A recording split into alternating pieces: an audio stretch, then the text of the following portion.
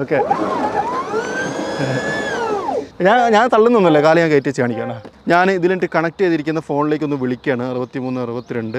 ഈ കയറ്റും reverse കിട്ടുമെന്നുള്ളത് test ചെയ്ത് നോക്കാം. എനിക്ക് ഇഷ്ടപ്പെട്ട രണ്ടാമത്തെ കാര്യം ഇതിന്റെ എയ്ത്തർ എരിസ്ദ. എരിസ്ദ എന്ന് പറയുന്ന പേര് എന്തുകൊണ്ട് വന്നു എന്നുള്ളൊരു ചോദ്യം ഉണ്ടായിരുന്നു. അത് റാസ്ത അല്ലെങ്കിൽ അങ്ങനെ എന്തെങ്കിലുമൊക്കെ പേരിൽ നിന്ന് ഡെറിവേറ്റീവ് ആണ് എന്ന് ഞാൻ വിചാരിക്കുന്നു. എന്തായാലും എയ്ത്തർ റിസ്ദ എന്ന് പറഞ്ഞു കഴിഞ്ഞാൽ ഇന്ത്യയിലെ ഫസ്റ്റ് ഫാമിലി ഇലക്ട്രിക് സ്കൂട്ടറാണ് എയ്ത്തർ എന്ന് പറയുന്ന നിർമ്മാണ കമ്പനിയാണ് അത് പുറത്തിറക്കിയത്. ഇതുമായി ബന്ധപ്പെട്ട ഒരുപാട് കാര്യങ്ങൾ കഴിഞ്ഞ വീഡിയോയിൽ നമ്മൾ പങ്കുവച്ചിട്ടുണ്ട്. അതായത് ഡീറ്റെയിൽഡ് വോക്ക് അറൗണ്ട് വീഡിയോ ഇതിന്റെ ലോഞ്ചിന്റെ സമയത്ത് എയ്ത്തർ കമ്മ്യൂണിറ്റി ഡേയിന്റെ സമയത്ത് നമ്മൾ ചെയ്തിട്ടുണ്ടായിരുന്നു. അത് കാണാത്ത ആൾക്കാർക്ക് മുകളിലുള്ള ഐ ബട്ടൺ പ്രസ് ചെയ്ത് കൊടുത്തു കഴിഞ്ഞാൽ നിങ്ങൾക്ക് കിട്ടും. ആ വീഡിയോ ഒന്ന് ഡീറ്റെയിൽ ആയിട്ട് കണ്ടു നോക്കുക. ഇതിന്റെ എ ടു സെഡ് വിഷ്വൽ കാര്യങ്ങൾ നമ്മൾ അതിനകത്ത് എക്സ്പ്ലെയിൻ ചെയ്യുന്നുണ്ട് എന്നുള്ളതാണ്. ഈ വീഡിയോ പ്രധാനമായിട്ടും റൈഡും അതുപോലെ തന്നെ അതിനകത്തുള്ള കുറച്ച് ഫീച്ചറുകൾ എക്സ്പ്ലെയിൻ ചെയ്യുകയും ചെയ്യുന്നൊരു വീഡിയോ ആണ്. എല്ലാ കൂട്ടുകാർക്കും നമ്മുടെ പുതിയൊരു വീഡിയോയിലേക്ക് ഹൃദ്യമായ സ്വാഗതം.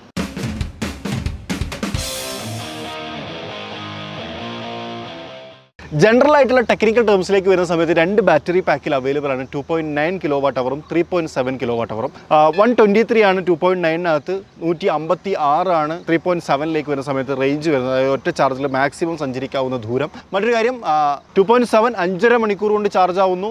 ത്രീ പോയിന്റ് സെവനിലേക്ക് വരുന്ന സമയത്ത് നാലര മണിക്കൂർ കൊണ്ട് ചാർജ് ആവുന്നു എന്നുള്ളതാണ് ചാർജിങ് സൈക്കിൾ വരുന്ന വ്യത്യാസം എന്നുള്ളതാണ്.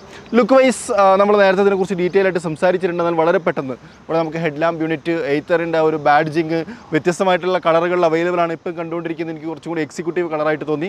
പല കളർ ടോണിലും ഇത് അവൈലബിൾ ആണ്. അതുപോലെ ഈ ഭാഗത്തൊരു പിയാനോ ബ്ലാക്ക് എലമെന്റ് ഒക്കെ കൊടുത്ത് മനോഹരമാക്കിയിട്ടുണ്ട്. പിന്നെ അതുപോലെ തന്നെ സീറ്റിംഗ് അത്യാവശ്യം നല്ല വീതിയും വിസ്താരവും ഉള്ള സീറ്റാണ് ഇതിനെക്കുറിച്ചൊക്കെ നമ്മൾ പറഞ്ഞു. അതുപോലെ തന്നെ അവിടെ ഗ്രാബ് റെയിൽ അതിനകത്തൊരു ബാക്ക് റെസ്റ്റ് തുടങ്ങിയിട്ടുള്ള കാര്യങ്ങൾ കാണാം. ഈ ഭാഗത്തേക്കൊക്കെ വരുന്ന സമയത്ത് റിസ്ദ സി എന്ന് പറയുന്ന ഒരു ബാഡ്ജിങ് കാണാം. ഇപ്പോൾ നമ്മൾ ഓടിച്ചുകൊണ്ടിരിക്കുന്ന two point nine kilo watt അവറിന്റെ വൺ ട്വന്റി ത്രീ കിലോമീറ്റർ ദൂരം സഞ്ചരിക്കാവുന്ന വെഹിക്കിളാണ് ത്രീ പോയിന്റ് സെവൻ അല്ല എന്ന് ഓർമ്മിപ്പിച്ചാണ്. ടെയിൽ ലാമ്പിലേക്ക് വന്നു കഴിഞ്ഞാലും എൽ ഇ ഡി ആ ഒരു ഹൈലൈറ്റ്സും കാര്യങ്ങളൊക്കെ നമുക്കിവിടെ കാണാൻ കഴിയും. ഏത്തറിന്റെ ബാഡ്ജിങ് തുടങ്ങിയിട്ടുള്ള കാര്യങ്ങളൊക്കെ കാണാം. എന്നാൽ ഏറ്റവും ഇൻട്രസ്റ്റിംഗ് ആയിട്ട് എനിക്ക് തോന്നിയിട്ടുള്ള ചില കാര്യങ്ങളെ കുറിച്ചും കൂടി സംസാരിക്കാം. ഒന്ന് ഈ ഒരു സ്പേസ് ഇപ്പം ഞാൻ ഇതിനകത്ത് കയറി ഇരുന്ന് കഴിഞ്ഞ് കഴിഞ്ഞാലും ഓക്കെയാ കാൽ വെക്കാം. ഇവിടെ വെച്ചാൽ കണ്ടോ? ഇത് തട്ടുന്ന പ്രശ്നമൊന്നുമില്ല. ഇവിടെ നല്ല സ്ഥല സൗകര്യമുണ്ട് അപ്പോൾ ഏത് തരം ആളുകൾക്കും അതായത് നീളത്തിന്റെ കാര്യത്തിൽ ഓടിക്കാം കുറച്ചും കൂടി തടിച്ച ആൾക്കാർക്കും ഒക്കെ ഓടിക്കാനുള്ള സ്ഥല സൗകര്യം ഇവിടെ ഉണ്ട് എന്നുള്ളതാണ്. മറ്റൊന്ന് സ്കൂട്ടർ. സ്കൂട്ടർ എന്ന് പറയുന്ന സമയത്ത് അതിനെ ആളുകൾ ക്ലാസിഫൈ ചെയ്യുന്നത് തന്നെ ഈ ഒരു സ്പേസ് നോക്കിയിട്ടാണ് എന്ന് പറയാം. പലരും പറയാറുണ്ട് അരിച്ചാക്കുള്ളൂ ഗ്യാസ് സ്റ്റവുള്ളൂ ഗ്യാസ് ഒന്നും ഇതിമ കൊണ്ടുപോകാൻ പാടില്ല കേട്ടോ. അതൊക്കെ സേഫ്റ്റി ഭയങ്കര പ്രശ്നമാണ്.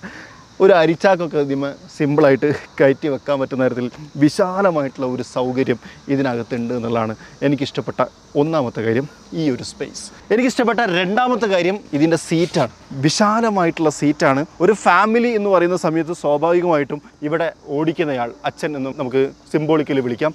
ബാക്കിൽ അമ്മ നടുവിൽ കുട്ടി.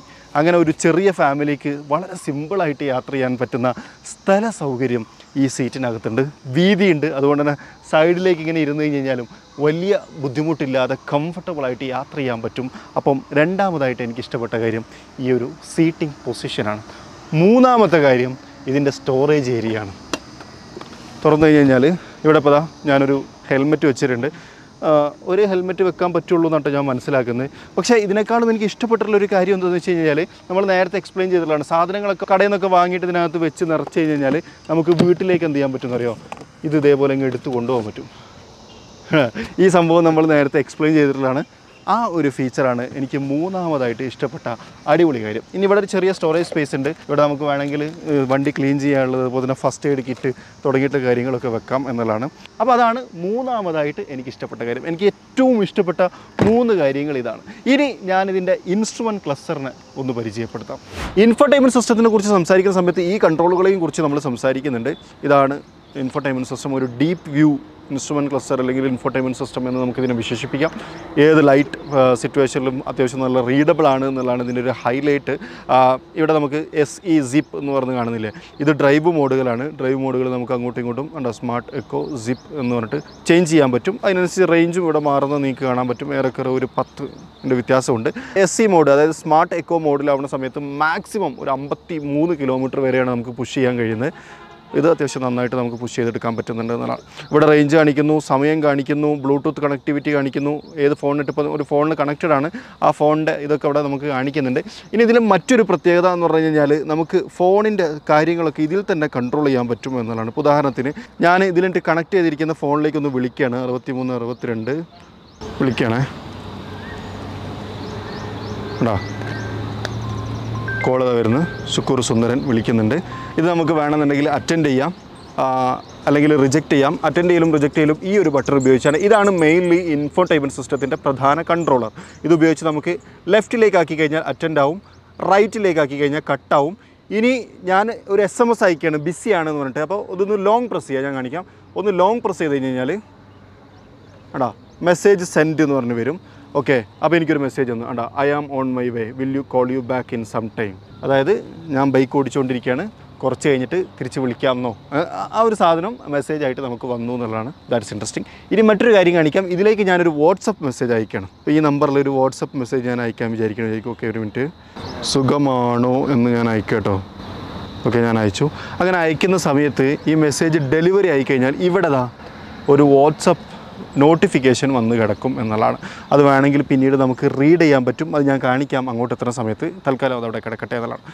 ഗാലക്സി എം വൺ ഫോർ എന്ന് പറയുന്ന മോഡലിനായിട്ടാണ് ഇപ്പോൾ കണക്ട് ചെയ്തേക്കുന്നത് എന്നുള്ളത് ഇവിടെ കാണിക്കുന്നു. ഇനി ഇവിടെ വന്നു കഴിഞ്ഞാൽ പ്രധാനപ്പെട്ട നാല് കൺട്രോളുകൾ കാണാം. ഇത് ഇങ്ങോട്ടാക്കി കഴിഞ്ഞ് കഴിഞ്ഞാൽ അത് ആക്ടിവേറ്റ് ആയിട്ട് വരും. ഒന്ന് ലൊക്കേഷൻ അതായത് നാവിഗേഷൻ നമുക്ക് എവിടെയാണോ നാവിഗേറ്റ് ചെയ്യേണ്ടത്? അങ്ങോട്ട് സെലക്ട് ചെയ്യാനുള്ള ഓപ്ഷനാണ് ഇതിന്റെ പ്രത്യേകത ഇതിനകത്തൊരു ഇൻബിൽട്ട് സിം ഉണ്ട്. അതുകൊണ്ട് തന്നെ ഫോൺ കണക്ടിവിറ്റി ലൊക്കേഷൻ സർവീസിന്റെ കാര്യത്തിൽ ആവശ്യമില്ല എന്നുള്ളതാണ്. രണ്ടാമത്തെ option phone galaxy M one അത് കണക്ട് ചെയ്ത് നമുക്ക് കാണിക്കാം. അതിലകത്താണ്ടോ? ശുക്കൂർ സുന്ദരൻ മെസ്സേജ് അയച്ചിട്ടുണ്ട് സുഖമാണോ? എട്ട് നാൽപ്പത്തഞ്ചിന് അതായത് ഇപ്പോൾ നമ്മൾ ഷൂട്ട് ചെയ്തുകൊണ്ടിരിക്കുന്ന സമയത്ത് സുഖമാണോ എന്നുള്ള ഒരു മെസ്സേജ് നമുക്ക് വന്ന് കിടക്കണം. അത് ഇവിടെ റീഡ് ചെയ്യാൻ പറ്റും എന്നുള്ളതാണ്. ഇത് ഇവിടെ നമുക്കിങ്ങനെ കാണുന്ന സമയത്ത് ഒരു കാര്യം കൂടി പറയാം. വാട്സപ്പ് മെസ്സേജിനകത്ത് ഡബിൾ ടിക്ക് ഉണ്ടാവുമല്ലോ? അത് ഉണ്ടാവില്ല. ഇതിപ്പോൾ ഇവിടെ റീഡ് ആയല്ലോ. നമുക്ക് ഇതിനകത്ത് നോക്കിയുണ്ടോക്കിയാൽ ഡബിൾ ടിക്ക് ഇല്ല. അതായത് ഇവിടെ നിന്ന് ഇൻട്രാക്ട് ചെയ്യാനൊന്നും പറ്റില്ല. ഇത് ടച്ച് സ്ക്രീൻ അല്ലല്ലോ. ചാറ്റ് റിപ്ലൈ കൊടുക്കാനോ അങ്ങനത്തെ പരിപാടിക്കൊന്നും പറ്റില്ല പക്ഷേ ഇപ്പം ലൈക്ക് നമ്മളൊരു സ്ഥലത്തേക്ക് പോവുകയാണ് അപ്പോൾ ഞാൻ നമീറിനെ അന്വേഷിച്ച് പോവുകയാണ് നമീറിന്റെ അടുത്തേക്ക് പോകുന്ന സമയത്ത് നമീർ എവിടെയുള്ളത് എന്നുള്ളത് എനിക്കിതിൽ അയച്ചു തന്നിട്ട് എനിക്ക് ആ ഓക്കെ നമീർ കെ എഫ് സിന്റെ അടുത്തുണ്ട്. അതൊക്കെ എനിക്ക് ഇതിൽ വായിച്ച് മനസ്സിലാക്കാൻ പറ്റും. അല്ലെങ്കിൽ നമ്മൾ waiting for some important information അങ്ങനത്തെ ഒരു സിറ്റുവേഷൻ ഉണ്ടെങ്കിൽ അതൊക്കെ നമുക്ക് മനസ്സിലാക്കാനും ഇതിനൊക്കെ പറ്റും. അല്ലാതെ ചിറ്റ് ചാറ്റൊന്നും ചെയ്യാൻ പറ്റില്ല. ഓക്കെ അനദർ ഇമ്പോർട്ടന്റ് ഇൻഫർമേഷൻ ബൈക്കൊക്കെ ഓടിക്കുമ്പോൾ തീർച്ചയായിട്ടും ഫോൺ ഉപയോഗിക്കാതിരിക്കുക. ഓക്കെ വീണ്ടും താഴേക്ക് വന്നു കഴിഞ്ഞാൽ ഒരു ബൈക്കിന്റെ ചിഹ്നം കാണാം. അതിനകത്ത് vehicle details documents documents two എന്ന് പറഞ്ഞിട്ട് കാണാം. ഈ ഡോക്യുമെന്റ്സ് ഡോക്യുമെന്റ്സ് ടു എന്ന് പറഞ്ഞ സംഭവം എന്താണെന്ന് വെച്ച് കഴിഞ്ഞാൽ നമുക്ക് ഇവരുടെ ആപ്ലിക്കേഷൻ ഉപയോഗിച്ചിട്ട് അതായത് എയ്ത്തറിന്റെ ഈ ആപ്ലിക്കേഷൻ ഉപയോഗിച്ച് നമുക്ക് കുറച്ച് കാര്യങ്ങൾ കൂടി ചെയ്യാൻ പറ്റും. ഉദാഹരണത്തിന് നമ്മളെ വണ്ടീന്റെ ഡീറ്റെയിൽസ് അറുപത് കിലോമീറ്റർ ദൂരം ഇനി സഞ്ചരിക്കാൻ പറ്റും. ലൊക്കേഷൻ എവിടെയാണുള്ളത്. ഇതിനൊരു ലൈവ് ലൊക്കേഷൻ ഷെയറിങ് കൂടി കേട്ടോ. ഇത് ഉപയോഗിച്ചിട്ട് നമ്മളെ ബൈക്ക് എവിടെയുള്ളത് എന്നുള്ളത് അല്ലെങ്കിൽ നമ്മൾ എവിടെയുള്ളത് എന്നുള്ളത് വേറൊരാൾക്ക് ഷെയർ ചെയ്ത് കൊടുക്കാനുള്ള ഓപ്ഷനും ഈ വാഹനത്തിനകത്തുണ്ട്. അതിപ്പോഴത്തെ അവസ്ഥയിൽ നമുക്ക് കാണിക്കാനൊരു നിവൃത്തിയില്ല എന്നുള്ളതാണ് മുപ്പത്തഞ്ച് മിനിറ്റ് ഡ്യൂറേഷൻ. അതായത് ഒരു ലൊക്കേഷൻ സെലക്ട് ചെയ്ത് കഴിഞ്ഞാൽ അങ്ങോട്ട് പോകാൻ എത്ര ചാർജ് വേണം നമ്മൾ ചാർജ് കൊണ്ട് പോകാൻ പറ്റുമോ തുടങ്ങിയിട്ടുള്ള ഒരുപാട് കാര്യങ്ങൾ നമുക്ക് ഇതിനകത്ത് മനസ്സിലാക്കാൻ പറ്റും. ഒപ്പം തന്നെ മറ്റൊരു കാര്യം അക്കൗണ്ട് ഇതിനകത്ത് നിന്ന് നമുക്ക് എന്ത് ചെയ്യാൻ പറ്റുമെന്ന് അറിയാം? നമ്മളുടെ ഡോക്യുമെന്റ്സ് ഉണ്ടല്ലോ. അതായത് ഇപ്പോൾ ഉദാഹരണത്തിന് നമ്മളെ ലൈസൻസ് ആർ സി ബുക്ക് അങ്ങനത്തെ കാര്യങ്ങളൊക്കെ ഇതിനകത്ത് സേവ് ചെയ്യാം. ആപ്പിനകത്ത് സേവ് ചെയ്ത് കഴിഞ്ഞാൽ ഇവിടെയും അത് കാണിക്കും. ഇവിടെ ഡോക്യുമെന്റ് വണ്ണ് ഡോക്യുമെന്റ് ഒന്ന് സെലക്ട് ചെയ്ത് കഴിഞ്ഞാൽ ഉണ്ടാവും. ഇവിടെ ആ ഒരു ഡോക്യുമെന്റ് വിസിബിൾ ആവും. അപ്പോൾ പോലീസൊക്കെ ചെക്ക് ചെയ്ത് കഴിഞ്ഞാൽ നമുക്കത് കാണിക്കാൻ പറ്റും. എനിക്ക് തോന്നുന്നു മുമ്പ് മഹീന്ദ്രയിലും അതുപോലെ തന്നെ ചില കാറിൽ നമ്മൾ ഈ ഒരു ഫീച്ചർ എക്സ്പ്ലെയിൻ ചെയ്തിരുന്നു. X U V seven double ഓയിലാണെന്നാണ് എന്റെ ഓർമ്മ. നമ്മളതിനെക്കുറിച്ച് വീഡിയോ ചെയ്തിട്ടുണ്ടായിരുന്നു. അതേ ഫെസിലിറ്റി ഇവിടെയും കൊണ്ടുവന്നിട്ടുണ്ട്. അപ്പം ഈ സോഫ്റ്റ് കോപ്പി എന്നുള്ള നിലയ്ക്ക് ഇതിനകത്ത് അത് ക്യാരി ചെയ്ത് കൊണ്ടു പറ്റും എന്നുള്ളതാണ് അതിനൊരു ഓപ്ഷൻ ഇനി നമുക്ക് പോകാനുള്ളത് ലാസ്റ്റ് ഓപ്ഷൻ സെറ്റിങ്സ് സെറ്റിങ്സിലേക്ക് വന്നു കഴിഞ്ഞാൽ ഇതിനകത്ത് കുറേ കാര്യങ്ങൾ നമുക്ക് പറയേണ്ട ഒന്ന് Bluetooth on and off paired device അവിടെ കാണിക്കും. ബ്രൈറ്റ്നസ് നമുക്ക് അഡ്ജസ്റ്റ് ചെയ്യാം. ഓട്ടോ ബ്രൈറ്റ്നസ് അഡ്ജസ്റ്റ് ചെയ്യാം. ഇനിയാണ് വെഹിക്കിൾ സെറ്റിങ്സ് അതിലൊന്നാണ് ട്വിസ്റ്റ് ട്വിസ്റ്റ് എന്ന് പറഞ്ഞു കഴിഞ്ഞാൽ എന്താണ് എന്ന് ചോദിച്ചു കഴിഞ്ഞാൽ അത് ഞാൻ ഡ്രൈവ് ചെയ്ത സമയത്ത് കാണിക്കുന്നുണ്ട്. എന്നാൽ ഇപ്പോൾ ഒന്ന് എക്സ്പ്ലെയിൻ ചെയ്യാം. നമ്മൾ ആക്സലറേഷൻ കൊടുത്താണ് വണ്ടി ഓടിക്കുക. എല്ലാ വണ്ടിയും അങ്ങനെ തന്നെയാണ്. ഓക്കെ പക്ഷേ ഇതിന് നമ്മളിപ്പം ഇങ്ങോട്ടല്ല ആക്സലറേഷൻ കൊടുക്കുക? നമ്മൾ ഓടിച്ചുകൊണ്ടിരിക്കുന്ന സമയത്ത് റിവേഴ്സ് പ്രഷർ കൊടുത്തു കഴിഞ്ഞ് കഴിഞ്ഞാൽ പിസ്റ്റ് ഓൺ ആണെന്നുണ്ടെങ്കിൽ അതൊരു ബ്രേക്ക് ആയിട്ട് വർക്ക് ചെയ്യും എന്നുള്ളതാണ്. അതായത് നമുക്ക് ബ്രേക്ക് പിടിക്കേണ്ട ആവശ്യമില്ല. ഈ ആക്സിലറേറ്ററിനുമ്പോൾ തന്നെ നമുക്ക് എന്ത് ചെയ്യാം?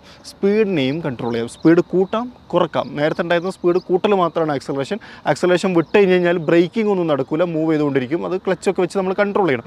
ഇത് നേരെ മറിച്ച് ബ്രേക്ക് പോലെ റിവേഴ്സ് ചെയ്ത് കഴിഞ്ഞാൽ നമുക്ക് വർക്ക് ചെയ്യാൻ പറ്റും എന്നുള്ളതാണ്. അത് വേണമെങ്കിൽ ഓൺ ഓഫ് ചെയ്യാനുള്ള ഫെസിലിറ്റിയാണ് ഇവിടെ കൊടുത്തേക്കുന്നത്. ട്വിസ്റ്റ് അത് ഞാൻ കാണിക്കുന്നുണ്ട്. ആ സമയത്ത് കുറച്ചും കൂടി നിങ്ങൾക്ക് മനസ്സിലാവും എന്നതാണ് രണ്ടാമത്തത് കോസ്റ്റിംഗ് റീജൻ അതായത് നോർമൽ ഗതിയിലുള്ള റീജനറേഷൻ ഓൺ ചെയ്യണോ ഓഫ് ചെയ്യണോ എന്നുള്ളതാണ് അവർ ചോദിച്ചുകൊണ്ടിരിക്കുന്നത്. അതെല്ലാവർക്കും മനസ്സിലാവും വിചാരിക്കുന്നു. അതായത് ചെറിയൊരു പെർസെന്റേജ് റീചാർജ് ചെയ്യാൻ പറ്റും. അടുത്തത് ഓട്ടോ ഹോൾഡ് അത് ഈ വാഹനത്തിനകത്തുണ്ട്. രണ്ടാം അടുത്താണ് സ്കിഡ് കൺട്രോൾ സ്കിഡ് കൺട്രോൾ എന്ന് പറഞ്ഞു കഴിഞ്ഞാൽ ഇപ്പോൾ നമ്മളൊരു പൊടിയൊക്കെ ഉള്ള സ്കിഡ് ആവാൻ സാധ്യതയുള്ള അതായത് റൊട്ടേഷൻ കൂടുതൽ വരാൻ സാധ്യതയുള്ള ഒരു പ്രതലത്തിലേക്ക് നമ്മൾ ഈ വണ്ടിയിട്ട് പോകണമെങ്കിൽ ഒരു മണ്ണും പ്രദേശത്തേക്കൊക്കെ പോവുകയാണെന്നുണ്ടെങ്കിൽ വീലിന്റെ മൂവ്മെന്റിനെ അത് കൺട്രോൾ ചെയ്യും. അത് നമുക്കൊന്ന് ടെസ്റ്റ് ചെയ്ത് നോക്കാം. ആ സമയത്ത് ഞാനത് വിശദമായിട്ട് പറയാം. ഇതൊക്കെ ഞാൻ ഡ്രൈവിൽ കാണിക്കുന്നതുകൊണ്ട് ഒരു ബേസിക് ഐഡിയ കിട്ടാൻ വേണ്ടിയിട്ട് ഇപ്പോൾ നിങ്ങളോട് പറയുകയാണ് ഓട്ടോ ഇൻഡിക്കേറ്റർ ഓപ്ഷനും കാര്യങ്ങളും ഒക്കെ ഉണ്ട് എന്നുള്ളതാണ്. മറ്റൊന്നാണ് ഫോൾ സേഫ് ഫോൾ സേഫ് എന്ന് പറഞ്ഞു കഴിഞ്ഞാൽ ഈ വാഹനം വീണ് കഴിഞ്ഞ് കഴിഞ്ഞാൽ നമുക്ക് ഇവിടെ പിടിച്ച് പൊക്കുന്ന സമയത്താണ് അതായത് ആക്സലേറ്ററും തിരിഞ്ഞിട്ട് വീണ്ടും ഇത് റൊട്ടേറ്റ് ആയി പോയി അപകടം സംഭവിക്കാനുള്ള സാധ്യത. അപ്പോൾ വാഹനം വീഴാൻ പോവുകയാണ് എന്ന് തീരുമാനിച്ച് കഴിഞ്ഞ് കഴിഞ്ഞാൽ വണ്ടിക്ക് മനസ്സിലായി കഴിഞ്ഞ് കഴിഞ്ഞാൽ ഓട്ടോമാറ്റിക് ഇതിന്റെ മോട്ടർ കട്ട് ഓഫ് ആവും. ഒരു സേഫ്റ്റി ഫീച്ചറാണ് എന്നുള്ളതാണ്. അതും ഭയങ്കര അല്ലേ? അത്യാവശ്യം ഇൻട്രസ്റ്റിംഗ് ആയിട്ട് തോന്നിയിട്ടുള്ള ഒരു കാര്യമായിട്ട് എനിക്ക് തോന്നി. അപ്പോൾ ഇത്രയും സെക്യൂരിറ്റി ഫീച്ചേഴ്സ് അല്ലെങ്കിൽ ഇത്രയും വ്യത്യസ്തമായിട്ടുള്ള ഫീച്ചറുകൾ ഏറ്റവും പുതിയ എയ്ത്തറിലുണ്ട്. ഡ്രൈവ് ചെയ്യുന്ന സമയത്ത് നമുക്ക് കുറച്ചും കൂടി അതിനെക്കുറിച്ച് സംസാരിക്കണം എന്നുള്ളതാണ്. ഇനി ഈ ക്ലസ്റ്ററിനകത്ത് ബാക്കി കാണിക്കുന്ന ഡീറ്റെയിൽസ് എന്താണെന്ന് വെച്ച് കഴിഞ്ഞാൽ ഓഡോമീറ്ററിന്റെ ഒരു ഭാഗം നമുക്കിവിടെ കാണാം. ഇപ്പോൾ നൂറ്റി മുപ്പത്തിനാല് കിലോമീറ്റർ ഇത് മൊത്തം ഓടിയിട്ടുണ്ട്. സ്റ്റാൻഡിലാണോ എന്നുള്ളത് മോട്ടർ ഓഫ് ആണോ ഓൺ ആണോ എന്നുള്ളതൊക്കെ അവിടെ നമുക്ക് കാണാം. സ്റ്റാൻഡ് എത്തിക്കഴിഞ്ഞാൽ ഓട്ടോമാറ്റിക്കായിട്ട് മോട്ടർ ഓഫ് ആവുകയും ചെയ്യും എന്നുള്ളതാണ്. ഇനി നമുക്ക് ചോദിക്കാനുള്ളത് വാറണ്ടിനെ കുറിച്ചായിരിക്കും. Five years warranty Ather Rizta എന്ന് പറയുന്ന ഈ ഒരു ഇന്ത്യയിലെ ഫസ്റ്റ് ഇലക്ട്രിക് ഫാമിലി സ്കൂട്ടറിന് എയ്ത്തർ എന്ന് പറയുന്ന നിർമ്മാണ കമ്പനി കൊടുക്കുന്നുണ്ട്.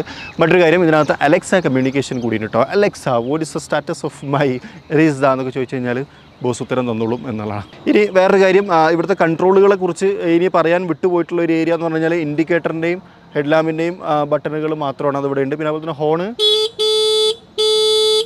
ഇതാണ് വരുന്നത്. അതുപോലെ എൻജിൻ സ്റ്റാർട്ട് സ്റ്റോപ്പ് ബട്ടൺ ഇവിടെ ഉണ്ട്. ഇതാണ് ഡ്രൈവ് മോഡ് സെലക്ടർ. ഇനി ഈ ബട്ടൺ എന്താണെന്ന് ചോദിച്ചു കഴിഞ്ഞാൽ അത് ഞാൻ കാണിക്കാം. ഈ ബട്ടൺ ജസ്റ്റ് ഇപ്പോൾ നമ്മൾ വാഹനത്തിനകത്ത് കയറി നമ്മൾ എൻജിൻ ഓൺ ചെയ്ത് സാധാരണഗതിയിൽ നമുക്ക് മുന്നോട്ടല്ല പോവാം? ഇനി ഈ ബട്ടൺ പ്രസ് ചെയ്ത് കൊടുത്തു കഴിഞ്ഞ് കഴിഞ്ഞാൽ നമുക്ക് റിവേഴ്സ് വരാൻ പറ്റും. കണ്ടാ? ഞാൻ ഞാൻ തള്ളുന്നൊന്നുമല്ല. കാലം ഞാൻ കയറ്റി വെച്ച് കാണിക്കാം കണ്ടാ? അഞ്ച് കിലോമീറ്റർ പെർ അവർ വേഗത മാക്സിമം കൈവരിക്കാൻ പറ്റുന്ന തരത്തിൽ നമുക്കിത് റിവേഴ്സ് കൊണ്ടുവരാൻ പറ്റും എന്നുള്ളതാണ്. അപ്പോൾ ഇത്രയാണ് ഇൻഫോടൈൻമെന്റ് സിസ്റ്റത്തിനെ കുറിച്ച് പറയാനുള്ളത്. ഇനി പറയാനുള്ളത് താഴ്ഭാഗത്തെക്കുറിച്ചാണ് അത്യാവശ്യം നല്ല ഗ്രൗണ്ട് ക്ലിയറൻസ് ഉണ്ട്. ഈ ഒരു ഭാഗത്തായിട്ടാണ് ബാറ്ററി പാക്കിനെ ക്രമീകരിച്ചിട്ടുള്ളത്. അതുകൊണ്ട് ഗ്രൗണ്ട് ക്ലിയറൻസ് കുറച്ചധികം ഫീൽ ചെയ്യുന്നതുകൊണ്ട് ഒരു ഹമ്പൊക്കെ ചാടുന്ന സമയത്ത് ബാറ്ററിയിൽ വന്ന് ഹിറ്റ് ചെയ്യുന്ന പ്രശ്നങ്ങളൊന്നും ഉണ്ടാവില്ല എന്ന് പ്രതീക്ഷിക്കുന്നു. അതുപോലെ തന്നെ വീലിലേക്ക് വന്നു കഴിഞ്ഞാൽ ഫ്രണ്ടിൽ നമുക്ക് ഡിസ്ക് ബ്രേക്കും കാര്യങ്ങളൊക്കെ കാണാം. എ ബി എസ് കാര്യങ്ങളൊക്കെ നമുക്ക് ഇതിനകത്ത് കൊടുത്തിട്ടുണ്ട്. ബാക്ക് ഭാഗത്തേക്ക് വന്നു കഴിഞ്ഞാൽ ഈ ഭാഗം കംപ്ലീറ്റ്ലി കവർ ചെയ്ത് വെച്ചേക്കാണ്. അതായത് ആ ബെൽറ്റിന്റെ ഭാഗം. അതുപോലെ സസ്പെൻഷൻ നമുക്ക് കാണാൻ കഴിയില്ല. ഫ്രണ്ടിൽ സസ്പെൻഷനൊക്കെ നമുക്ക് കാണുന്നുണ്ട്. രണ്ട് ട്രാവൽസും കാര്യങ്ങളൊക്കെ കൊടുത്ത് അങ്ങനെയാണ് ഇത് ക്രമീകരിച്ചിട്ടുള്ളത് എന്നുള്ളതാണ്. ഇനി പ്രൈസ് മൂന്ന് വകഭേദങ്ങളാണ് ഇത് അവൈലബിൾ ആയിട്ടുള്ളത്. ഇപ്പോൾ നമ്മൾ കണ്ടുകൊണ്ടിരിക്കുന്നത് സെന്റർ വേരിയന്റ് ആണ്. അതായത് Rizta C two point nine kilowatt ഇതിന് പ്രൈസ് വരുന്നത് ഒരു ലക്ഷത്തി ഇരുപത്തൊമ്പതിനായിരത്തി തൊള്ളായിരത്തി തൊണ്ണൂറ്റൊമ്പത് രൂപയാണ്. ഇതിന്റെ തൊട്ട് ബാക്കിലുള്ളത് റിസ്ദ എസ് എന്ന് പറയുന്നത് അത് ടു പോയിന്റ് നയനിലാണ് വരുന്നത്. അത് വരുന്നത് എന്ന് പറഞ്ഞു കഴിഞ്ഞാൽ ഒരു ലക്ഷത്തി ഒൻപതിനായിരത്തി തൊള്ളായിരത്തി തൊണ്ണൂറ്റൊമ്പത് രൂപയാണ്. അതാണ് ഇതിന്റെ സ്റ്റാർട്ടിംഗ് പ്രൈസ് ഇനി three point nine kilo watt അവറിന്റെ അതായത് ഏറ്റവും കൂടുതൽ റേഞ്ച് കിട്ടുന്ന അതിന്റെ പ്രൈസ് വരുന്നതെന്ന് പറഞ്ഞു കഴിഞ്ഞാൽ ഒരു ലക്ഷത്തി നാൽപ്പത്തി നാലായിരത്തി തൊള്ളായിരത്തി തൊണ്ണൂറ്റൊമ്പത് രൂപയാണ് എന്നുള്ളതാണ്. ലക്ഷത്തി നാൽപ്പത്തി അയ്യായിരത്തിന് ഒരു രൂപ കുറവുണ്ടായിരിക്കും ചുരുക്കം. അപ്പോൾ അതാണ് പ്രൈസ് വരുന്നത്. അതിന്റെ റേഞ്ചും കാര്യങ്ങളൊക്കെ പറഞ്ഞു. ഇനി നമുക്കിതൊന്ന് റൈഡ് ചെയ്ത് നോക്കാം. ഇനി നമ്മളെ ഇതിന്റെ സ്കിഡ് കൺട്രോൾ ഒന്ന് ടെസ്റ്റ് ചെയ്യാൻ പോവാണ്. ഞാൻ ഇപ്പോൾ സ്കിഡ് കൺട്രോൾ ഓഫ് ചെയ്തിട്ടുണ്ട്. ഇവിടെ ഒരു ചെറിയ ചെളിയുണ്ട്. അതിലേക്ക് ഇറക്കി നിർത്തിയിട്ട് നമ്മൾ മുന്നോട്ട് അപ്പോൾ ഓഫ് ചെയ്തിട്ട് ഓൺ ചെയ്തിട്ട് എങ്ങനെയാണെന്നുള്ളത് നോക്കാം. ഉണ്ടാ ഓക്കെ യെസ് ഇങ്ങനെയാണ് സ്കിഡ് കൺട്രോൾ ഓഫ് ചെയ്ത സമയത്തുള്ളത്. ഇനി സ്കിഡ് കൺട്രോൾ ഞാൻ ഓൺ ചെയ്തിട്ട് ചെളിയിലൂടെ പോയി നോക്കുകയാണ് എന്ത് സംഭവിക്കുന്നുള്ളത് നോക്കാം. എന്തൊക്കെയാ? സംഭവം ഈസി ആയിട്ട് കയറി വന്ന്. നമ്മൾ നിങ്ങൾ വിചാരിക്കും നേരത്തെ പോയ ഇതിൽ കൂടി തന്നെയാണ് പോകുന്നതെന്ന് അല്ല കേട്ടോ വേറെ റൂട്ടാണ് നമ്മളെടുത്ത്. സംഭവം വർക്ക് ചെയ്യുന്നുണ്ട്. അതായത് ഇത് സംഭവിക്കണമെന്ന് വെച്ച് കഴിഞ്ഞാൽ ഫ്രണ്ട് വീലിനിട്ട് സിങ്ക്രണൈസ് ചെയ്തിട്ട് ബാക്ക് വീലിനെ കൺട്രോൾ ചെയ്യാണ് ചെയ്തുകൊണ്ടിരിക്കുന്നത് അപ്പോൾ ഇങ്ങനത്തെ ഒരു സിറ്റുവേഷനിലേക്കൊക്കെ വന്നു കഴിഞ്ഞാൽ വളരെ പെട്ടെന്ന് കയറി വരാൻ ഇത് നമ്മളെ സഹായിക്കും എന്നുള്ളതാണ്. സംഭവം കൊള്ളാണ് എനിക്ക് രസമായിട്ട് തോന്നി. അപ്പോൾ ആ ടെസ്റ്റ് പാസ് ഇനി ഒരു ടെസ്റ്റ് കൂടി ചെയ്ത് നോക്കാം. വാ. അപ്പോൾ നമ്മൾ രണ്ടാമത്തെ ടെസ്റ്റ് ഒന്ന് ചെയ്ത് നോക്കാൻ പോവുകയാണ് സീറോ ടു ഹൺഡ്രഡ് ഓക്കെ നമുക്കൊന്ന് നോക്കാം. സമയം എത്രയെന്ന് മൊബൈൽ വെച്ച് നോക്കാനുള്ള ഓപ്ഷൻ ഇപ്പോൾ നമുക്കില്ല. അതുകൊണ്ട് ഞാനിവിടെ ടൈമർ ആഡ് ചെയ്യുന്നുണ്ട്. അത് വെച്ച് നിങ്ങളൊന്ന് അഡ്ജസ്റ്റ് ചെയ്യണമെന്ന് റിക്വസ്റ്റ് ചെയ്യണം ready one two three start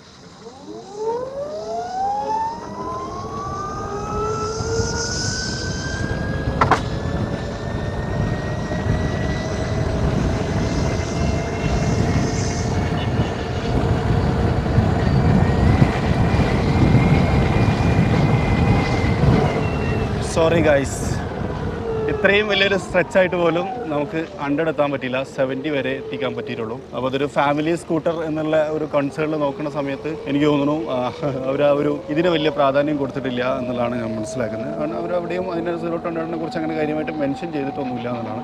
ഒരു എന്താ പറയുക ലീനിയർ പവർ ഡെലിവറിയാണ് ആ തരത്തിലാണ് ഇതിപ്പോൾ നമുക്ക് എടുക്കാൻ പറ്റുന്നത്. അത്യാവശ്യം മോശമില്ലാത്തൊരു ഒരു ആംഗിളിൽ ഇങ്ങനെ കീപ്പ് ചെയ്ത് നമുക്കൊരു ഫാമിലിയൊക്കെ ആയിട്ട് പ്രത്യേകിച്ച് ഇപ്പം നമ്മൾ ഇരിക്കുന്ന രണ്ടാളാണ്. ഞാനും നെമീറും കൂടി ഇരിക്കുന്നുണ്ട്.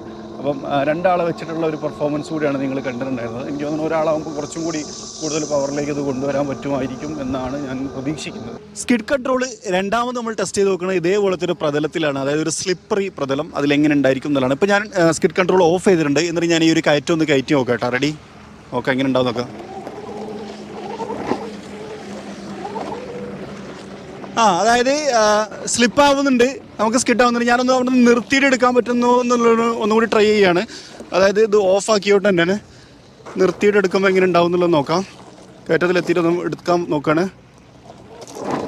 ഉണ്ടാ സ്കിഡ് ആവുന്നുണ്ട്. ഇനി നമുക്ക് ഇറങ്ങി നോക്കുമ്പോൾ എങ്ങനെ ഉണ്ട് നോക്കാം. ഇവിടെ കുറച്ചും കൂടി ഒന്ന് ഇളകിയ ഉണ്ടാ സംഭവം സ്കിഡ് ആവുന്നുണ്ട്. ഓക്കെ അപ്പം ഇനി നമുക്കിതൊന്ന് ഓൺ ചെയ്യാം. ഇപ്പോൾ ഇതാ സ്കിഡ് കൺട്രോൾ ഓൺ ആണ്. ഇനി ഞാനൊന്ന് കയറ്റി നോക്കാൻ പോകട്ടോ അല്ലാ ഒരു കുഴപ്പമില്ല. ആ ഒരു സ്കിഡിങ് പ്രശ്നം എവിടെ ഇല്ല ഞാൻ റിവേഴ്സ് എടുക്കാൻ പോകണേ നേരത്തെ ഇവിടെയാണ് നമ്മൾ സ്ലിപ്പായത് ആ സ്ഥലം കണ്ട? സ്കിഡായ സ്ഥലം. അതിക്കൂടി തന്നെ ഇറക്കി നോക്കാം. എടാ ഒരു കുഴപ്പമില്ല. ഇനി നമുക്ക് അവിടെ പകുതിക്ക് നിർത്തിയിട്ടുള്ള ടെസ്റ്റ് ഇല്ല? അതൊന്നും കൂടി ചെയ്ത് നോക്കാം. റെഡി ഇത് അവിടെ നേരത്തെ നമ്മൾ നിർത്തിയെടുത്തപ്പം സ്കിഡായ ആ പ്രദേശമാണ്. അവിടെ നിങ്ങൾക്ക് കാണാം. അപ്പോൾ നമ്മളിവിടെ നിർത്തി എടുക്കുക നോക്കിയാ. ഉണ്ടാ ഒരു കുഴപ്പമില്ലാതെ കയറി പോകുന്നുണ്ട് എന്നുള്ളതാണ്. അപ്പോൾ ആ ടെസ്റ്റ് സംഭവം സ്കിഡ് കൺട്രോൾ നല്ല രീതിയിൽ വർക്ക് ചെയ്യുന്നുണ്ട് കേട്ടോ. നൈസ് ഇനി ഞാൻ വേറെ ടെസ്റ്റ് വെറുതെ ചെയ്ത് നോക്കാൻ പോവാണ്. സ്കിഡ് കൺട്രോളർ ഉണ്ട് റിവേഴ്സ് പോണ ഫംഗ്ഷനും ഉണ്ട്. ഈ കയറ്റും റിവേഴ്സ് കിട്ടും എന്നുള്ളത് ടെസ്റ്റ് ചെയ്ത് നോക്കാം. റിവേഴ്സ് ഇനാബിൾഡ് ഓക്കെ റിവേഴ്സ് കയറ്റി വെക്കാൻ പോവാണ്. ഞാൻ തള്ളുന്നൊന്നുമില്ല കേട്ടോ. കാൽ നിങ്ങൾ കയറ്റി വെച്ചാൽ നിങ്ങൾക്ക് മനസ്സിലാൻ വേണ്ടിയിട്ട് കയറണ്ട സംഭവം വേണ്ട കൊള്ളാം.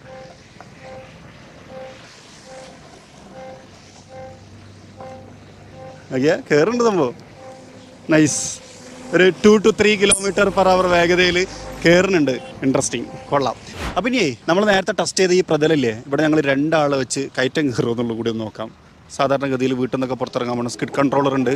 ഓക്കെ ഈവ പുഷ്പം പോലെ കയറിപ്പോണം പുട്ട് പോലെ എന്ന് പറയില്ലേ? ആ തരത്തിൽ കയറി വന്നു എന്നുള്ളതാണ്. അങ്ങനെ നമ്മൾ ഒരു ഹൈവേയിൽ എത്തിയിരിക്കുകയാണ്. ഞാൻ നേരത്തെ പറഞ്ഞു ലീനിയർ പവറപ്പാണ് നമുക്ക് നല്ല രീതിയിലൊരു ഫാമിലിയൊക്കെ ആയിട്ട് നല്ല കംഫർട്ട് സോണിൽ യാത്ര ചെയ്യാൻ അതായത് ഉമ്മ അല്ലെങ്കിൽ ഭാര്യ മക്കൾ അവരെയൊക്കെ വെച്ച് വേണമെങ്കിൽ ഇവിടെ അവരുടെ ഒരു ലഗേജും കുട്ടികളെ സ്കൂളിൽ കൊണ്ടുപോക്കാനൊക്കെയാണ് ആ സമയത്ത് കൂടുതൽ ഈ ഒരു സ്ഥലം ആവശ്യം വരും ബാഗ് വെക്കാൻ. പിന്നെ അവന്റെ ലെഗ് സ്പേസ് നോക്കിയാൽ എത്രത്തോളം എനിക്ക് ലെഗ് സ്പേസ് ഉണ്ട് എന്നുള്ളത് നിങ്ങളൊന്ന് നോക്കിയാൽ നിങ്ങൾക്ക് മനസ്സിലാവും. അടിപൊളിയാണ്. അതായത് അത്യാവശ്യം നല്ല ലെഗ് സ്പേസ് എനിക്ക് ഇതിനകത്ത് അവൈലബിൾ ആണ്. റൈഡിങ് പൊസിഷനും വലിയ കുഴപ്പമൊന്നുമില്ല. ഒരു ഫാമിലി വെഹിക്കിൾ എന്ന് പറയുന്ന ഒരു ആസ്പെക്ട്സിൽ ആലോചിക്കുന്ന സമയത്ത് എല്ലാം ഏതാ ചേർന്ന് വന്നിട്ടുള്ള ഒരു വാഹനം എന്നാണ് ഇത് ഓടിച്ച സമയത്ത് എനിക്ക് മനസ്സിലായത്. സസ്പെൻഷനും നല്ല കംഫർട്ടാണ് അതായത് ഇപ്പോൾ നമ്മളൊരു ഹമ്പ് ഒക്കെ ഇപ്പോൾ ഒരു ഹമ്പ് നമ്മൾ ചാടാൻ പോകണം ഓക്കെ ഈ സൈഡ് കുറച്ചുകൂടി വലുതാണ്. നമ്മൾ ഉണ്ടോ അടിപൊളി. ഒരു കുഴപ്പമില്ല. നല്ല സ്മൂത്ത് ലാൻഡിംഗ് ആണ്. ഈ അടിക്കുന്ന പ്രശ്നങ്ങളോ കാര്യങ്ങളോ ഒന്നും തന്നെ ഇല്ല. നീറ്റാണ് ശരിക്കും ഒരു ഫാമിലിയൊക്കെ ആയിട്ട് പോകുന്ന സമയത്ത് ഏറ്റവും വലിയ കൺസേൺ എന്ന് പറയുന്നത് കംഫർട്ടാണ് കംഫർട്ട് സോണിൽ പോവുക. ഫൺ ഡ്രൈവിനേക്കാൾ ഉപരി ആളുകൾ ആസ്വദിക്കുന്നത് അതായിരിക്കും. കംഫർട്ട് സോൺ ആയിരിക്കുക. പിന്നെ എന്തായാലും ഫാമിലിയായിട്ടായിട്ട് പോകുന്ന സമയത്ത് പൊതുവേ നമ്മുടെ കയ്യിൽ ഒരു ബാഗോ കാര്യങ്ങളോ ഒക്കെ ഉണ്ടാവാനുള്ള സാധ്യതയും വളരെ കൂടുതലാണ്. അങ്ങനെ നോക്കുന്ന സമയത്ത് അതിനും പറ്റിയ ഒരു സ്പേസ് നമുക്കുണ്ട് എന്നുള്ളതാണ് ഈ വാഹനത്തിന്റെ ഹൈലൈറ്റ് അതും എനിക്ക് ഭയങ്കരമായിട്ട് ഇഷ്ടപ്പെട്ടു. അപ്പോൾ അങ്ങനെയൊക്കെ നോക്കുന്ന സമയത്ത് ഒരു മികച്ച ഫാമിലി ഇലക്ട്രിക് സ്കൂട്ടർ എന്ന് നമുക്ക് എയ്ത്തർ റിസ്ദയെ വിശേഷിപ്പിക്കാം. ഇപ്പോൾ നമ്മൾ ഓടിച്ചുകൊണ്ടിരിക്കുന്ന നന്ദി ഹിൽസ് ഭാഗത്തുള്ള ഒരു ഹൈവേ അതിനോട് ചേർന്ന അതൊക്കെയാണ് നമ്മൾ ടെസ്റ്റിങ്ങിനായിട്ടൊക്കെ തിരഞ്ഞെടുത്തത്. ആ ടെസ്റ്റിംഗ് ഒക്കെ ഇത്ര നല്ല രീതിയിൽ പാസ്സായി. അതായത് അവർ പറഞ്ഞ ആ ഫങ്ഷൻസ് ഒക്കെ നല്ല രീതിയിൽ വർക്ക് ചെയ്യുന്നുണ്ട്. അത് നമ്മൾ രണ്ട് പ്രതലത്തിൽ ഓടിച്ച് നമ്മൾ ടെസ്റ്റ് ചെയ്തിട്ടുണ്ടായിരുന്നതാണ്. അപ്പോൾ ഒരു കൂടി പറയാൻ നേരത്തെ പറഞ്ഞായിരുന്നു സീറോ ടു ഹൺഡ്രഡ് എന്നുള്ളതിനെ കുറിച്ചോ മറ്റൊന്നും കമ്പനി എവിടെയും മെൻഷൻ ചെയ്യുന്നില്ല. എനിക്ക് തോന്നുന്നു ടോപ്പ് സ്പീഡ് ഒരുപക്ഷെ ഹൺഡ്രഡോളം ഉണ്ടാവില്ല എന്നുള്ളതാണ്. ഇനി ഇതിനകത്ത് ഉണ്ട് എന്ന് നമ്മൾ പറഞ്ഞിരുന്ന മറ്റൊരു കാര്യമാണ് ട്വിസ്റ്റ് ട്വിസ്റ്റ് എന്ന് പറഞ്ഞു കഴിഞ്ഞാൽ എന്താന്ന് ഞാൻ എക്സ്പ്ലെയിൻ ചെയ്തായിരുന്നു. അതായത് ആക്സലറേഷന് രണ്ട് ഫംഗ്ഷൻ ഒന്ന് ഇങ്ങോട്ടാക്കി കഴിഞ്ഞ് കഴിഞ്ഞാൽ അതായത് താഴേക്ക് ആക്കി കഴിഞ്ഞ് കഴിഞ്ഞാൽ ഈ വാഹനം നല്ല ശക്തിയിൽ മുന്നോട്ട് പോകും. അതായത് പവർ അപ്പ് ആവും എന്നുള്ളതാണ്. എന്നാൽ ഇതേപോലെ റിവേഴ്സ് നമ്മൾ പുഷ് ചെയ്ത് കഴിഞ്ഞ് കഴിഞ്ഞാൽ വാഹനം സ്ലോ ആവും. അതായത് ബ്രേക്കിന്റെ ഒരു ഫങ്ഷൻ കൂടി ഇതിനകത്ത് വർക്കാവും എന്നുള്ളതാണ്. അതെങ്ങനെയുണ്ട്? രസമായിട്ട് തോന്നിയില്ലേ? ഒരു അല്ലേ ഒരു എന്താ പറയുക നമുക്ക് ബ്രേക്കുമ്പോൾ ഇങ്ങനെ ഇങ്ങനെ ഇങ്ങനെ അപ്ലൈ ചെയ്യുന്നതിന് പകരം അത് കുറച്ചും കൂടി ഹാർഡാണ് ഇത് കുറച്ചും കൂടി സോഫ്റ്റ് ആയിട്ട് നമുക്ക് ഇതിനെ കൺട്രോൾ ചെയ്യാൻ പറ്റുമെന്നാണ്. ഹെവി സ്പീഡിൽ പോയിട്ട് ഇതിപ്പോൾ നിന്നില്ല എന്നൊന്നും കംപ്ലൈന്റ് പറയരുത്. അതായത് ഇതൊരു ചെറിയ കൺട്രോൾ മാത്രമാണ്. നമ്മളിപ്പോൾ ഇതാ നല്ല സ്പീഡിലേക്ക് ഞാൻ കയറ്റുകയാണ് ഇപ്പോൾ ഈ വാഹനത്തെ. ഒരു നാൽപ്പത് അമ്പതിലേക്ക് എത്തിച്ചുകൊണ്ടാ അമ്പത്. എന്നിട്ട് ഞാൻ സ്റ്റോപ്പ് ചെയ്യാൻ ശ്രമിച്ചു കഴിഞ്ഞാൽ ഇത് നിൽക്കുന്നതിനുണ്ടാവും ഒരു ഇതുണ്ട്. നേരെ മറിച്ച് അതേ പോലെ തന്നെ ഞാൻ അമ്പതിലേക്ക് എത്തിച്ചതിന് ശേഷം ബ്രേക്ക് അപ്ലൈ ചെയ്ത് കഴിഞ്ഞാൽ ഉണ്ടോ ഇത് തമ്മിൽ നല്ല വ്യത്യാസമുണ്ട് അത് മനസ്സിലാക്കുക എന്നുള്ളതും കൂടിയാണ്. അപ്പം ഇതാണ് എയ്ത്തർ റിസ്ദ. ഇത് ഓടിച്ച സമയത്ത് ഇതിനകത്തുള്ള ഫീച്ചറുകൾ ടെസ്റ്റ് ചെയ്ത സമയത്ത് നമുക്ക് തോന്നിയ കാര്യങ്ങൾ നമ്മളുടെ ഫീലുകൾ ഒക്കെയാണ് നമ്മൾ ഇത്ര നേരം എക്സ്പ്ലെയിൻ ചെയ്തത്. സ്പേഷ്യസ് ആണ് കംഫർട്ടാണ് വിശാലമായിട്ടുള്ള സീറ്റുകളാണ് അത്യാവശ്യം നല്ല ഫീച്ചർ റിച്ച് ആണ് ഒരു ലക്ഷത്തി ഒമ്പതിനായിരം അല്ലെ? ഒരു ലക്ഷത്തി പതിനായിരം എന്ന് പറയുമ്പോൾ ഓൺ റോഡ് പ്രൈസ് എങ്ങനെ ഒരു ഒരു ലക്ഷത്തി പതിനയ്യായിരോ ഒരു ലക്ഷത്തി ഇരുപതിനായിരം ആ റേഞ്ചിലൊക്കെ ആയിരിക്കും സ്റ്റാർട്ടിംഗ് എന്നാണ് ഞാൻ പ്രതീക്ഷിക്കുന്നത്. ആ ഒരു പ്രൈസിന് വെച്ച് നോക്കുന്ന സമയത്ത് ഫാമിലി എന്നുള്ള ആസ്പെക്ട്സിൽ കുറച്ചുകൂടി വാല്യൂ ഫോർ മണി ആയിട്ടുള്ള ഒരു വാഹനമായിട്ട് എയ്ത്തർ റിസ്ദ എന്ന് പറയുന്ന ഈ വാഹനത്തെ വിശേഷിപ്പിക്കാം. ഇതിനകത്ത് ഇഷ്ടപ്പെട്ട കാര്യങ്ങളെക്കുറിച്ച് നമ്മൾ സംസാരിച്ചു. ഇതിനകത്ത് വന്നിട്ടുള്ള വ്യത്യസ്തമായിട്ടുള്ള ചില ഫീച്ചറുകളെ കുറിച്ച് നമ്മൾ സംസാരിച്ചു. ഇഷ്ടപ്പെടാത്തൊരു കാര്യത്തെക്കുറിച്ച് സംസാരിച്ചു. ഡ്രൈവ് ചെയ്യുന്ന സമയത്ത് എങ്ങനെയുണ്ട് എന്നുള്ളൊരു കാര്യത്തെക്കുറിച്ച് സംസാരിച്ചു. ഇത്രയാണ് ഇന്നത്തെ വീഡിയോയിലൂടെ നമ്മൾ ചെയ്തത്. നിങ്ങൾക്കും ഇഷ്ടപ്പെട്ടിട്ടുണ്ടാവും വിചാരിക്കുന്നു. ഇഷ്ടപ്പെട്ടെങ്കിൽ ലൈക്ക് ചെയ്യാൻ മറക്കരുത്. അതുപോലെ തന്നെ ചാനൽ ആദ്യമായിട്ട് കാണുന്ന സുഹൃത്തുക്കൾ ഉണ്ടെന്നുണ്ടെങ്കിൽ ഫോളോ ചെയ്യാനും മറക്കരുത്. അപ്പോൾ മറ്റൊരു വീഡിയോയിൽ മറ്റൊരു വിശേഷവുമായിട്ട് കാണാം. അതുവരെ ചെറിയൊരു ബ്രേക്ക്